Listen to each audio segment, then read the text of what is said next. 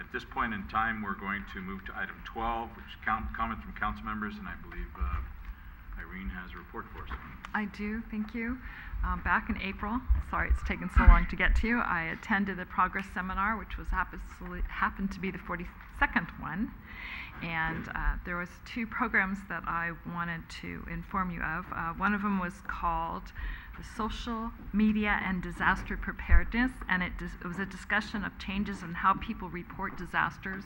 So uh, the panel that was doing the discussion and the subsequent discussion among all the uh, people who were in the audience, their emphasis was people no longer just pick up a land phone and call dial 911 and report the emergency. They're, they were talking about people using their cell phones, using tweet, using Facebook, using different media to to report different um, disasters or uh, incidences that were happening.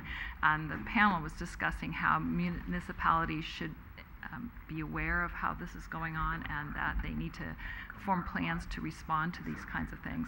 They actually used uh, the Glenview fire disaster as an example of uh, us not being prepared about it. So I um, spoke up and told them a few things. So I'm surprised you guys haven't heard back from them. But anyway, uh, I stood up for us.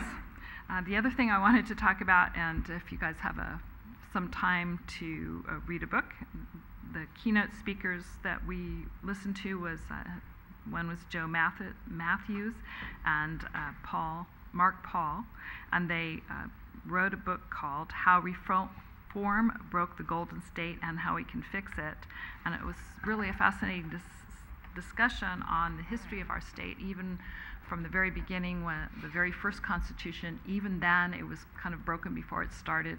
They had no particular guidance on how cities should fund themselves and how the state should fund themselves and be cooperative and it's still as we know just especially what aaron just said it's still broken so um, again it says how reform broke the golden state and how we can fix it and it was very interesting so those were Good. Thanks. My Any report other on that? Comments from council members?